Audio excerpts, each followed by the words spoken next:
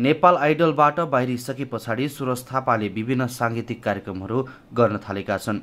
Nepal आइडलको top सिक्ससम्म परेका सुरज थापा पछिल्लो समय नेपाली साङ्गीतिक क्षेत्रमा निकै चर्चामा छन्।